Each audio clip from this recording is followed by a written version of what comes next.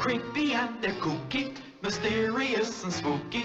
They're all together ooky, the Addams family. The house is a museum, when people come to see them, they really are a scream, the Addams family. Sweet. So get a witch's shawl on, a broomstick you can crawl on. We're gonna pay a call on the Addams family.